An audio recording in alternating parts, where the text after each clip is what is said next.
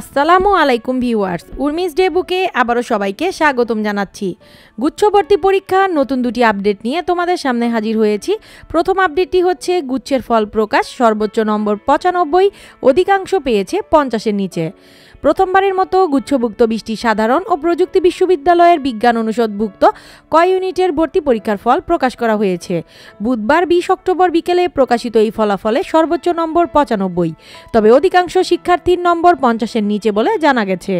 বিষয়টি নিশ্চিত করে গুচ্ছভর্তি পরীক্ষার টেকনিক্যাল কমিটির আহ্বায়ক ও বঙ্গবন্ধু শেখ মুজিবুর রহমান, ডিজিটাল ইউনিভার্সিটির উপাচার্য অধ্যাপক ডক্টর মুনাজ আহমেদ নূর বলেন, বিজ্ঞান অনুষদভুক্ত কয় ইউনিটের ওএমআর শিট দেখার কাজ শেষ করে ফলাফল প্রকাশ করা হয়েছে।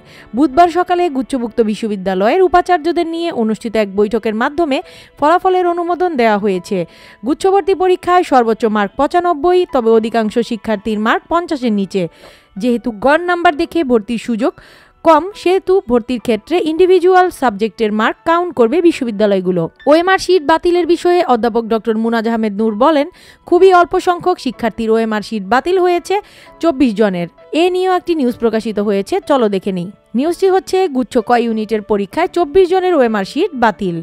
প্রথমবারের মতো গুচ্ছভুক্ত বিশটি সাধারণ ও প্রযুক্তি বিশ্ববিদ্যালয়ের বিজ্ঞান অনুষদভুক্ত কয় ইউনিটের ভর্তি পরীক্ষার ফল প্রকাশ করা হয়েছে আজ বিকেলে।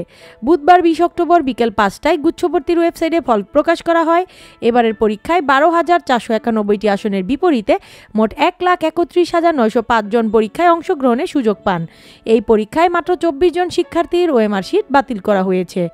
বিষয়টি নিশ্চিত করে গুচ্ছভুক্ত পরীক্ষার টেকনিক্যাল কমিটির আহ্বায়ক ও বঙ্গবন্ধু শেখ মুজিবুর রহমান ডিজিটাল ইউনিভার্সিটির উপাচার্য অধ্যাপক ডক্টর মুনাজ আহমেদ নূর। তিনি ডেইলি ক্যাম্পাসকে বলেন, খুবই অল্প সংখ্যক শিক্ষার্থীর ওএমআর শিট বাতিল হয়েছে, মাত্র চব্বিশ জনের। এক্ষেত্রে সর্বোচ্চ অগ্রাধিকার দিয়েছে কর্তৃপক্ষ।